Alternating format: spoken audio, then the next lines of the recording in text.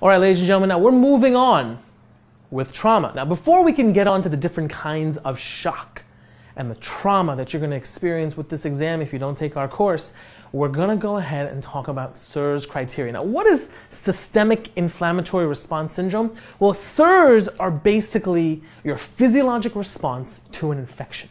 And here are the four components. First of all, temperature. As soon as you're on the wards and you're walking along, morning rounds, oh, the blood pressure's okay. Oh, I see a temperature. Don't ignore it. Don't just think temperature, culture, temperature, culture, culture, temperature. You're not a robot. Think about what you're going to do. If you notice that the patient's temperature is low, hypothermia or hyperthermia are all signs of a potential brewing infection. A potential brewing infection can then lead to septic shock, and I'll show you how in a moment. Heart rate, that is the second component of a systemic inflammatory response. Now notice, our normal heart rate is considered 60 to 100. However, in this person, a heart rate greater than 90 beats per minute is considered problematic. If the patient is breathing more than 20 beats per minute, something's going on with their ventilation and their breathing and their gas exchange. And so, therefore, you as the clinician, you as the person sitting there in the Prometric Center taking this test should realize that something bad is brewing. And lastly, remember white count going up or down are both findings. Remember, in patients who are elderly, they may not actually have a leukocytosis, they may become leukopenic. That's right, they become leukopenic, they lose their white cells. And why do old people lose their white cells? Because they also lost their glasses.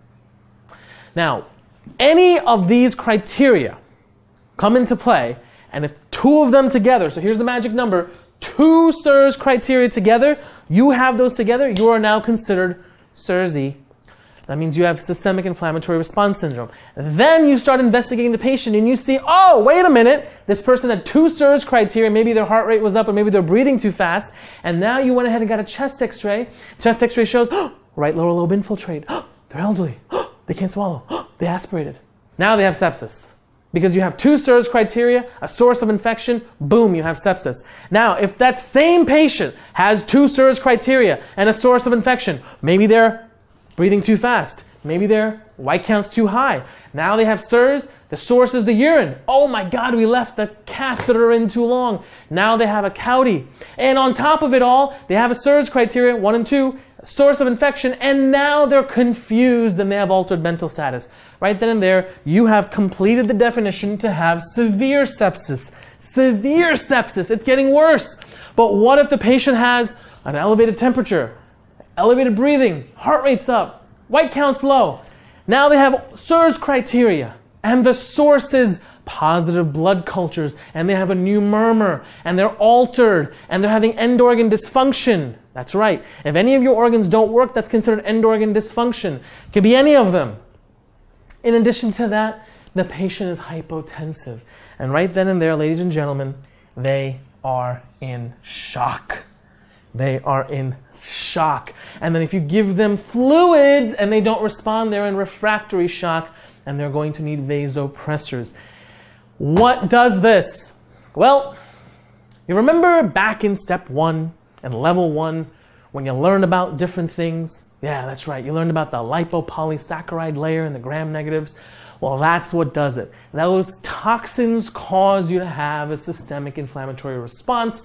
And then as that systemic inflammatory response proceeds, you go from two SIRS criteria with a source giving you sepsis, add on organ dysfunction, severe sepsis, add on hypotension, shock.